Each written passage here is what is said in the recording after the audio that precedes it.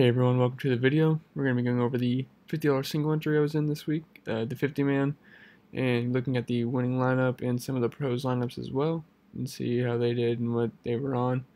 So the winning lineup was Bryce Morrow, uh, third and long. He put up 210 points.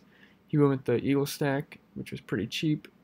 Uh, Foles almost had 500 passing yards. He put up 35 points. Zach Ertz, 40 points. And Jeffery at 11.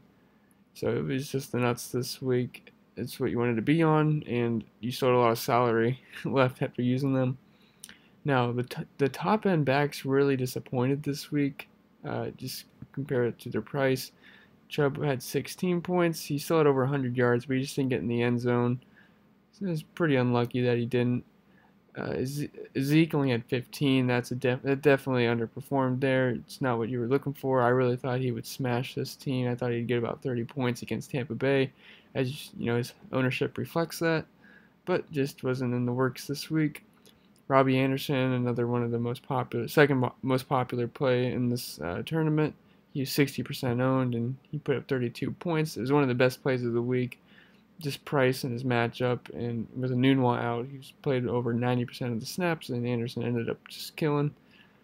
Uh, Robert Woods, he was going to avoid Patrick Peterson. He had Budda Baker in the slot. He had a rushing touchdown, and he also had a nice uh, receiving touchdown as well. And McGuire, another Jet with him and Anderson both uh, balled out today. Two touchdowns, and about 85 yards. He had a good game. And 49ers, I'm just going to guess that he thought this was going to be a low scoring game, and that's all the salary he had left, so he just rolled with it. And, you know, eight points, not going to hurt you. Okay, so let's take a look at uh, Empire Maker's lineup. I like looking at his, uh, what he did. He scored 162. He didn't cash. He went with the uh, cow. Looks like he went with the Dak Prescott and Zeke. Two Cowboys there against Tampa Bay. They both underperformed. Saquon Barkley again. He didn't do it got a one rushing touchdown, but other than that, he only had he had less than 80 total yards. So, and he, he had some bad luck. Uh, Scott Simpson, I believe, he scored on a one yard touchdown, and then Eli Manning ran it in. So really, he could have three touchdowns. So I think he got really unlucky. Sterling Shepard, he had a great game. We, everyone played him as chalk last week, and he didn't do anything. And then the very next week, he gets a 20 piece. Michael Thomas, back to his old ways, 30 points, had a great game, and uh, really topped it off with that touchdown late. Uzomah, uh, it ended up working out. and Matt Breida, I'm not sure about that play. He ended up getting hurt in this game like he always does. Yeah, but Chicago is really stiff against the run, so I'm curious to what he was thinking about there. Maybe just getting a cheap running back that's going to get the ball. And the Patriots defense against the Bills ended up working out. 10 points. And I'll see if Chipotle was in here. I'm not sure if he was or not. He was, okay. So he scored 140, so he didn't do very good. Uh, he went with Jared Goff and Robert Woods and Brandin Cooks, so he went with a little Ram stack there.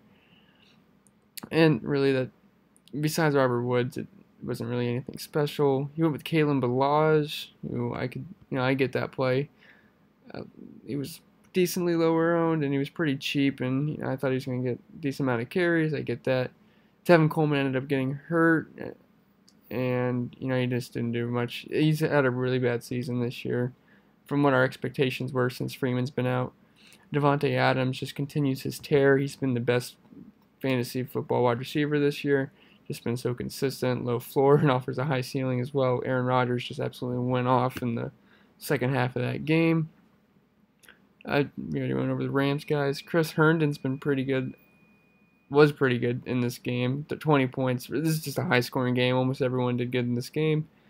Talked about Barkley. We talked about the Patriots defense already. Alright guys, that's all I'm going to show for this video. I hope you guys had a good week like some of these guys did. And I'll be back with my breakdowns coming for week 17 later in the week. Alright, see ya.